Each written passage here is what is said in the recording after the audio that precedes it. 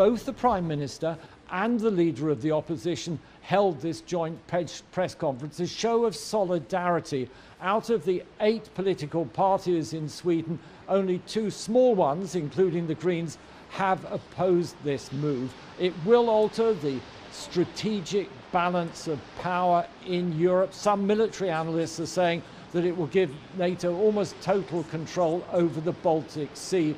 There have been some concessions. Sweden says it won't have NATO bases on its territory, and nor will it allow nuclear weapons to be based there. Now, Sweden's Prime Minister Magdalena Andersson told Parliament, We're living in a new and dangerous reality.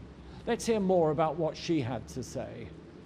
Med ett svenskt eh, NATO-medlemskap. With a Swedish NATO membership, the threshold for military conflicts will be heightened in Sweden and in the region. The Common Conflict Prevention Force will be strengthened in Northern Europe, and thereby strengthen security for Sweden and the Swedish people. Now that Finland has also said that they will apply for NATO membership, Sweden would alone outside of NATO be in a very vulnerable position. So, the best for Sweden and the Swedish people's security is that we join NATO and that we do this together with Finland.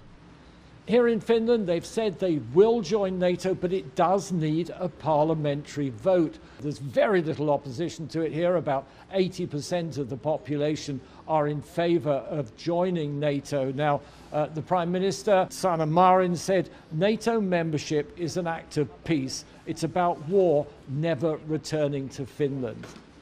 There could be a vote as early as Tuesday, and then Finland and Sweden will both put their joint applications in at the same time.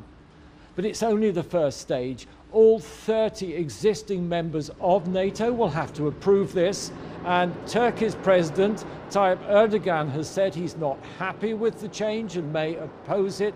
He's worried the concerns he's raising is about Kurds living and based in Finland and Sweden. There is even some Kurds in the, in the Swedish parliament. Um, what we're going to see now, both countries have announced that, that, that they will be sending diplomatic delegations to the Turkish capital, Ankara, in the next couple of weeks. Michael Voss, CGTN, Helsinki.